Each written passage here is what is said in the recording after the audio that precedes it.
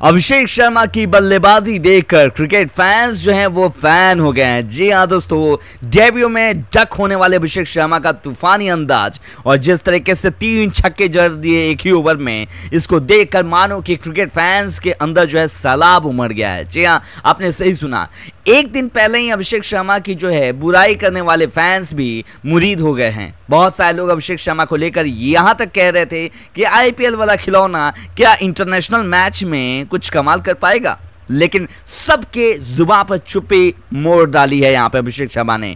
क्या ज़बरदस्त तरीके से पारी खेली। अपने दूसरे ही मैच में हैट्रिक सिक्स लगाकर अभिषेक शर्मा ने ठोकी सेंचुरी। पहले हुए थे डक में आउट। जी हाँ दोस्तों, सही सुना। अभिषेक शर्मा ने जिम्बाब्वे के खिलाफ टी ट्वेंटी सीरीज़ के पहले मैच में अपना इंटरनेशनल मैच डेब्यू किया था। उनकी पारी चार गेंदों में ही खत्म हो गई थी। अभिषेक खाता भी नहीं खोल पाए थे। लेकिन एक दिन बाद ही अभिषेक ने टी ट्वेंटी इंटरनेशनल क्रिकेट में शतक ठोक दिया। अपने दूसरे ही इंटरनेशनल मैच में अभिषेक शर्मा ने महज छियालीस गेंदों में शतक ठोक डाला। 50 के शतक की बात अगर करें तो सिर्फ़ तेरह गेंद का फासला था। मतलब कि 35 गेंद में इन्होंने 50 रन बनाए और अगले 13 गेंदों में 50 रन बना डाले। और इस तरीके से हैट्रिक्स छक्के भी लगाए। अभिषेक शर्मा ने लगातार तीन गेंदों पर तीन छक्का लगाया और शतक पूरा कर दिया। यह दिखाता है कि वह रिकॉर्ड के लिए नहीं खेलते, बल्कि 43 गेंदों में वह बयासी रन बनाकर खेल रहे थे। इसके बाद वेलिंगटन, जो एक गेंदबाज थे, उनके एक ही ओवर में तीन छक्के लगे। हालाँकि शतक बनाने के बाद अगली गेंद पर आउट भी हो गए। सैतालीस गेंदों में सौ रन की पारी अभिषेक शर्मा ने ज़बरदस्त तरीके से खेली। सात चौके और आठ छक्के लगाए।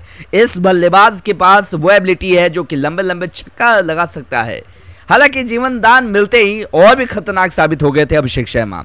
अभिषेक शर्मा इस मैच में ज़बरदस्त तरीके से मुकाबला ये करते नज़र आए और एक बार फिर से दिखा दिया कि क्रिकेट फैंस के लिए अभिषेक शर्मा का ये शतक कितना इंपॉर्टेंट है और जिस तरीके से परफॉर्मेंस किया है अभिषेक शर्मा ने, मानो कि क्रिकेट फैंस के लिए सैलाब उमड़ गया है। तूफ़ान में अभिषेक शर्मा के जिम्बाब्वे की टीम बिल्कुल बिखर सी गई और पूरे तरीके से इस मैच से बाहर होती नज़र आई।